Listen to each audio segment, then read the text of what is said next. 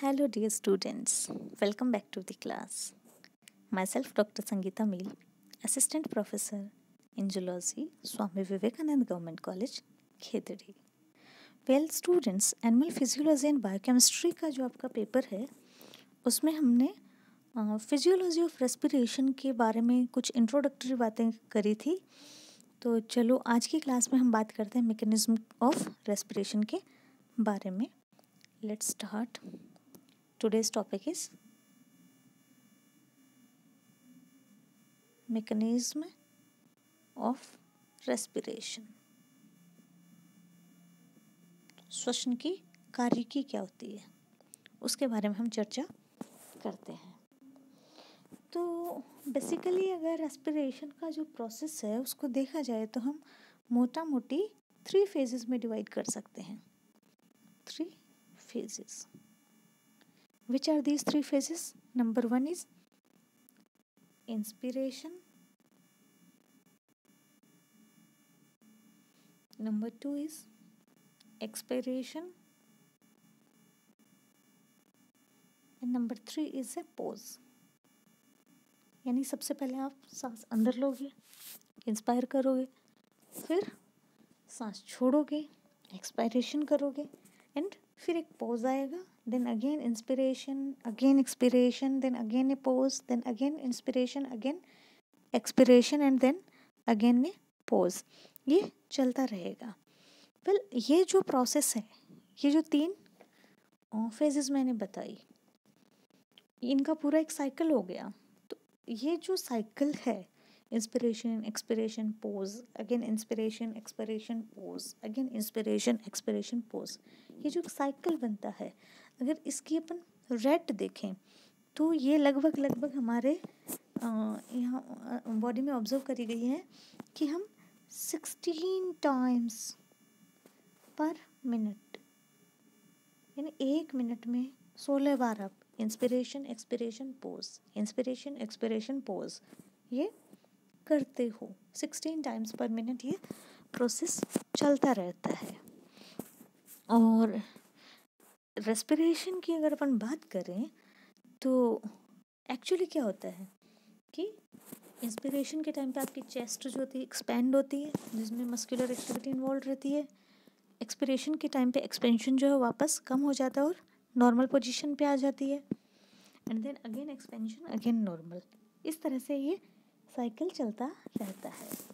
तो process of respiration देखा जाए तो इसमें basically two types of muscles involve रहती हैं।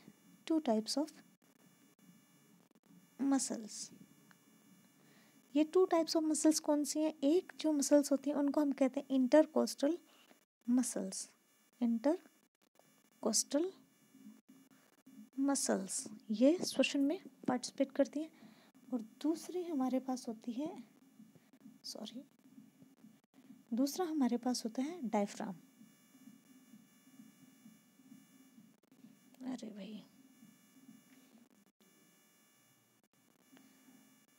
डायफ्राम ठीक है? दो तरह के मसल्स हो गई हैं. इंटरकोस्टल मसल्स एंड डायफ्राम इनके रोल इन्वॉल्वमेंट से रेस्पिरेशन का प्रोसेस चलता रहता है। ठीक है भाई? तो अगर हम देखें तो सबसे पहले हम बात करते हैं इंटरकोस्टल मसल्स की, कि ये कौन सी, क्या होती हैं? तो इंटरकोस्टल मसल जो होती हैं, वो ग्यारह जोड़ी होती हैं हमारे शरीर में। कितनी होती हैं? Eleven pairs of intercostal muscles पाई जाती हैं। ठीक है? और ये जो मसल्स होती हैं, वो अपने रिब्स के बीच में पाई जाती हैं। जो पसलियाँ होती हैं, उनके बीच में पाई जाती हैं। Suppose this is a rib solid बनाना चाहिए था ना सपोज़ ये एक रिब हो गई दिस इज़ टर्नम है ना इधर से भी आ रही है फिर, ये दूसरी रिब हो गई, ये तीसरी रिब हो गई। तो इनके बीच में, इन रिब्स को आपस में कनेक्ट करके रखती हैं ये इंटरकोस्टल मसल्स जो होती हैं, वो, ठीक है? तो इलेवन पेयर्स होते हैं और दो लेयर्स में पाई जाती हैं। एक लेयर को अपन कहते हैं external. Excuse me external intercostal muscles.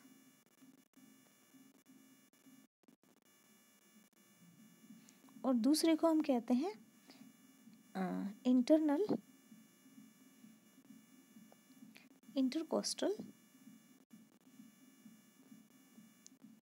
Muscles ये जो हम एक्सटर्नल और इंटरनल पढ़ा है ये इनके काम से पढ़ा है कि अगर ये आपकी रिब्स का मूवमेंट बाहर की तरफ़ करवाती हैं तो नाम हो गया एक्सटर्नल इंटरकोस्टल मसल्स और अगर ये मूवमेंट अंदर की तरफ़ करवाती हैं तो नाम हो गया इंटरनल इंटरकोस्टल मसल्स तो सबसे पहले हम चर्चा करते हैं एक्सटर्नल इंटरकोस्टल मसल्स के बारे में, ठीक है? कि ये क्या होती हैं? तो अगर एक्सटर्नल इंटरकोस्टल मसल्स की बात करें तो ये जो होती है ये आपकी लोकेशन तो आप ज़्यादा नहीं समझ पाओगे फिर भी मैं बता देती हूँ कि सपोज़ कि ये आपकी आ, जो ऊपर वाली पसली है सपोज़ रिब है उसके निचले कोने से ठीक है? नीचे की तरफ़ और आगे की तरफ़ डायरेक्शन में डाउनवर्ड एंड फॉरवर्ड डायरेक्शन में एक्सटेंडेड रहती हैं और जाके जुड़ती हैं नीचे वाली रिब के ऊपरी सिरे से। ठीक है? पोजीशन आप लोगों को ज़्यादा समझ में नहीं आएगी, कोशिश करना कि कोई गूगल पे कोई इमेज वगैरह देख लो और अदरवाइज़ तो will discuss when we will meet okay position इतना मैटर नहीं करती है। आपको जो लर्न करना है वो क्या है कि इनकी मूवमेंट से आपकी रिब्स किस तरह से मूव करेंगी? ये मेन मुद्दा है। तो जब एक्सटर्नल इंटरकोस्टल मसल्स कॉन्ट्रैक्ट होंगी तो क्या करेंगी कि आपका जो थोरेसिक केज है, ठीक है, उस थोरेसिक केज का जो साइज़ है, उसको ये बढ़ा देंगी, ठीक है? किस डायरेक्शन में बढ़ाएँगी? एक तो लेटरल साइड में, ठीक है? लेटरल क्या होता है? अभी बात करते हैं। लेटरली एंड दूसरा ये बढ़ा देंगी वेंट्रली।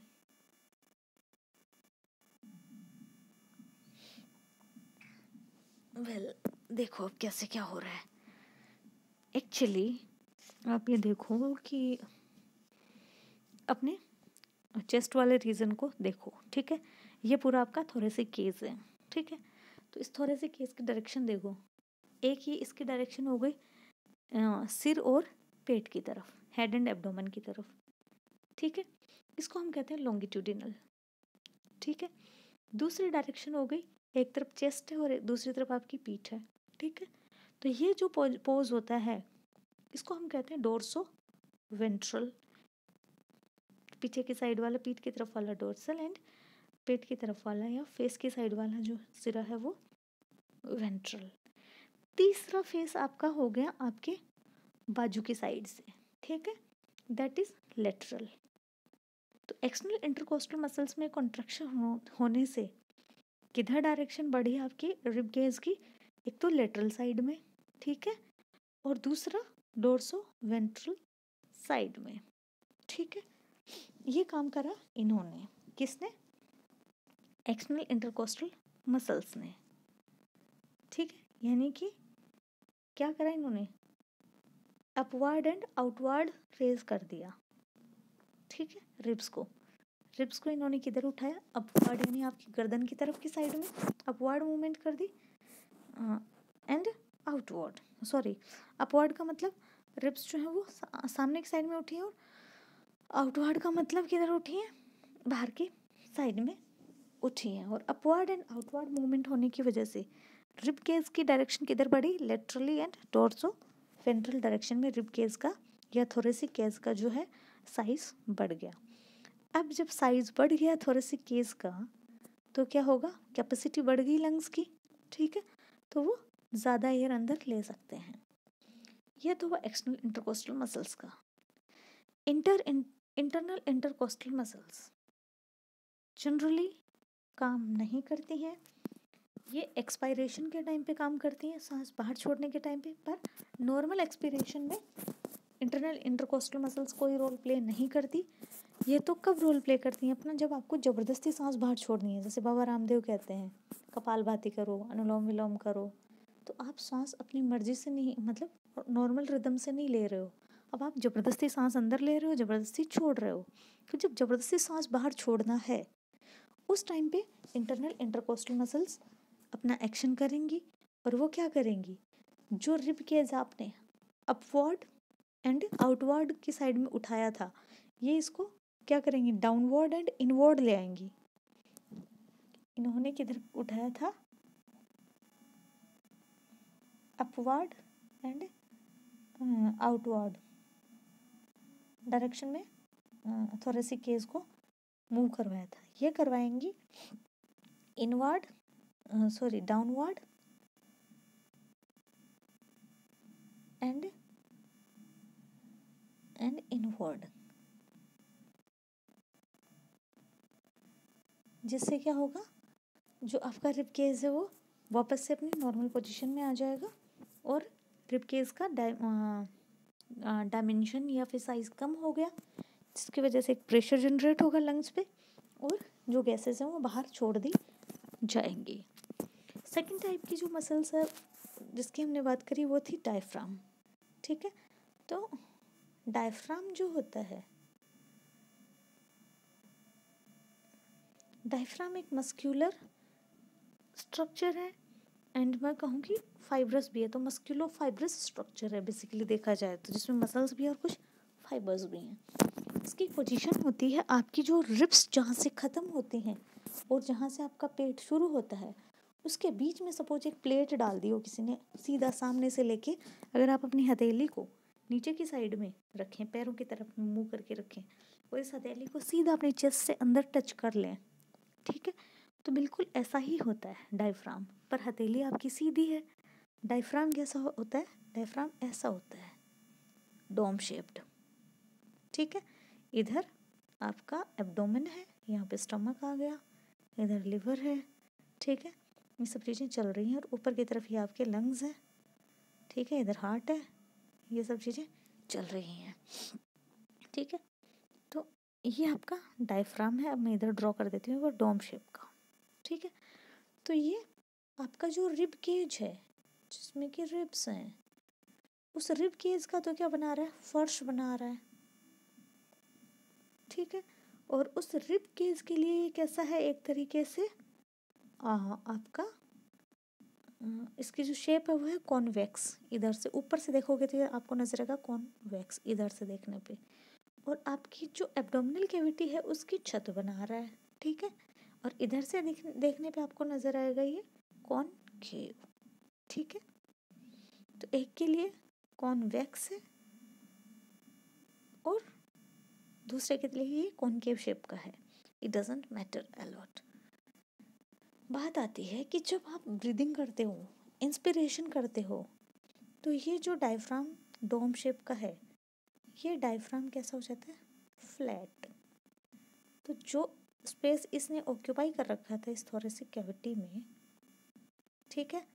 वो स्पेस खाली हो गया। है ना? तो इसका वॉल्यूम बढ़ गया। और वॉल्यूम बढ़ गया तो लंग्स का भी क्या होगा? साइज़ बढ़ जाएगा गैसेस प्रेशर घट जाएगा इंस्पिरेशन हो जाएगा। जब एक्सपीरेशन करना है तो डायफ्राम जो है वो वापस से कॉन्ट्रैक्ट होगा और डोम शेप हो जाएगा। इधर से डोम शेप होगा, अंदर एक प्रेशर जनरेट होगा लंग्स आपस सिकुड़ेंगे सिकुड़ेंगे तो गैसेस बाहर निकल जाएँगे और एक्सपीरेशन हो जाएगा। ये तो है छोटी सी बात। अब अपन बात करते हैं कि तीन अपन ने फेजेस की बात करी थी कि रेस्पिरेशन में तीन फेजेस होते हैं। सबसे पहले हम बात करते हैं इंस्पिरेशन की। तो इंस्पिरेशन जो है वो एक एक्टिव प्रोसेस है। सबसे पहले हम बात करते हैं इंस्पायरेशन की। इंस्पायरेशन जो है वो एक एक्टिव प्रोसेस है। यानी ऊर्जा खर्च होगी वही जहाँ भी एक्टिव कुछ होता है वहाँ। दो मसल्स का रोल इम्पोर्टेंट होता है। One is external intercostal muscle E I C M external intercostal muscle और दूसरा है डायफ्राम ठीक है? डोम शेप डायफ्राम फ्लैट हो जाएगा। एक्सटर्नल इंटरकोस्टल मसल्स में कॉन्ट्रैक्शन होगा, जिससे ये क्या करेंगी? रिब केस को अपवर्ड एंड आउटवर्ड डायरेक्शन में उठाएँगी। तो as a result of these two process thoracic cavity जो है, उसका साइज़ बढ़ जाएगा। साइज़ बढ़ेगा लेटरली डोरसो वेंट्रली, ये दो साइड में तो बढ़ेगा ई आई सी एम के से and longitudinally because of diaphragm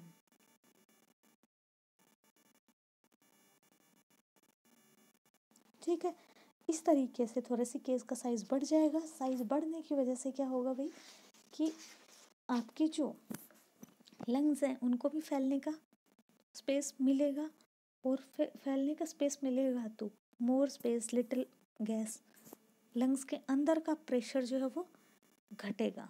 lungs के अंदर का प्रेशर कम है, एटमॉस्फेरिक प्रेशर ज़्यादा है तो गैसेस, एटमॉस्फेरिक प्रेशर ज़्यादा है तो गैसेस क्या करेंगी? अंदर आएँगी। बाहर से गैसेस अंदर आएँगी सो so दैट अंदर का प्रेशर और बाहर का प्रेशर इक्वल किया जा सके। इंस्पिरेशन हो गया। सेकंड प्रोसेस होता है एक्सपायरेशन ठीक है? हमने बात करी थी कि एक्सपायरेशन जनरली एक पैसिव प्रोसेस है। ठीक है? कोई ऊर्जा खर्च नहीं करनी पड़ती। ठीक है? जब external intercostal muscles and diaphragm जो कि इंस्पायरेशन के टाइम पे कॉन्ट्रैक्ट हुए थे ये दोनों जब रिलैक्स होंगे, ठीक है? रिलैक्स होंगे, यानी कि डायफ्राम वापस डोम शेप का हो जाएगा और एक्सटर्नल इंटरकोस्टल मसल्स रिलैक्स होकर वापस से अपनी शेप में आ जाएँगी, ठीक है? तो उससे क्या होगा कि थोरेसिक कैविटी जो है या थोड़ा थोरेसिक केस जो वो अपने ओरिजिनल शेप में आएगा। ओरिजिनल शेप एंड साइज़ में आएगा तो जो थोरेसिक कैविटी है उसका डायमेंशन कम होगा। कम होगा तो क्या होगा? गैसेस और लंग्स पे प्रेशर बढ़ेगा। प्रेशर बढ़ने से गैसेस लंग्स में अंदर से क्या करेंगे? बाहर पास ऑन होंगी। अंदर का प्रेशर बढ़ेगा, बाहर का प्रेशर कम है तो atmospheric pressure and lung pressure equal करने के लिए गैसेस बाहर निकलेंगी। यह तो है नॉर्मली जब आपको विग्रेस एक्सपरेशन करना है फोर्सिबल करना है तो इस टाइम पे यहाँ पे एक मसल इन्वॉल्व हो जाती है, जिसका नाम है इंटरनल इंटरकोस्टल मसल ये कॉन्ट्रैक्ट होगी और एक्सपिरेशन में अपना रोल प्ले करेगी। ये तो नॉर्मल इंस्पिरेशन एंड एक्सपायरेशन इसके बाद में पोज आएगा देन अगेन यही सेम प्रोसेस शुरू हो जाएगा। कुछ एक स्पेशल रेस्पिरेटरी मूवमेंट्स होते हैं जैसे कि कफिंग खांसी आना ठीक है? खांसी आना इज़ ए फॉर्सिबल एक्सपायरेशन ज़बरदस्ती आप सांस बाहर निकाल रहे हो एक तरीके से ठीक है? ओ, ओ कर करके फॉर्सिबल एक्सपायरेशन आपको कफ होता सॉरी हिचकियाँ आती हैं हिकअप्स होते हैं, ठीक है? दैट इज़ नोइजी इंस्पायरेशन कि आप सांस अंदर लेते टाइम एक साउंड क्रिएट हो रही है, ठीक है? एंड हिकअप्स का जो रीज़न है, वो होता है कि जो डायफ्राम की जो मसल्स होते हैं, उनमें स्पाज्म आ जाता है वो भी एक रेगुलर इरेगुलर इंटरवल पे, जिसके कारण एक नॉइज़ प्रोड्यूस होती है। उसके अलावा आपको उबासियाँ आती हैं, ठीक है? वो है प्रोलॉन्ग्ड इंस्पायरेशन लंबे टाइम तक आप सांस अंदर ले रहे हो। हाँ ऐसे कर रहे हो तो सांस अंदर ले रहे हो, है ना? लंबा सा। उसके अलावा आपको कभी कभी आप लोग गहरी साँसें ले रहे होते हो, ठीक है? कुछ गहरी सोच में डूबे होते हो, कोई अचानक से सदमे वाली बात सुन ली होती है तो एक बार को आपको सांस नहीं आ रहा, पर फिर आप बहुत गहरी सांस लेते हो। ये भी क्या है? प्रोलॉन्ग्ड इंस्पायरेशन ठीक है? ये कुछ स्पेशल रेस्पिरेटरी मूवमेंट्स हैं। बाय द वे कभी क्वेश्चन आ जाए कफ इज़ ठीक है? तो cough is a forcible expiration उसके अलावा hiccups and sigh and yawns यानी कि ऊँगना उबासियाँ आना एंड um, क्या है? गहरी साँसें लेना है ना? ये सब इंस्पायरेशन के टाइप है। गहरी साँसें लेना एंड um, उबासी आना है ना? ये तो प्रोलॉन्ग्ड इंस्पायरेशन है। ठीक है कि आप कई देर तक इंस्पायर कर रहे हो गैसेस को और हिचकियाँ जो हैं, वो मस्कुलर स्पाज्म है डायफ्राम मसल्स का और that is noisy inspiration inspiration के टाइम पे नोइज़ क्रिएट हो रही है। ये सब रेस्पिरेशन के बारे में कुछ बेसिक बातें हैं। नेक्स्ट लेक्चर में हम बात करेंगे फिजियोलॉजी ऑफ़ रेस्पिरेशन की। आज की क्लास आज की क्लास में हम इतना ही करते हैं। जल्दी मिलते हैं दूसरी क्लास के साथ। That will be physiology of respiration जिसमें हम डिस्कस करेंगे कि कहाँ पे कितना गैसेस प्रेशर का डिफरेंस होने से किस तरह से एक्सचेंज होता है कहाँ कहाँ कितना गैसेस का प्रेशर किस तरह से रहता है इंस्पायरेशन एंड एक्सपायरेशन के टाइम पे या मकाम की गैसेस एक्सचेंज के टाइम पे। वेल well, मिलते हैं दूसरी क्लास में तब तक के लिए अपना ध्यान रखिए खुश रहिए मस्त रहिए खूब पढ़ाई कीजिए।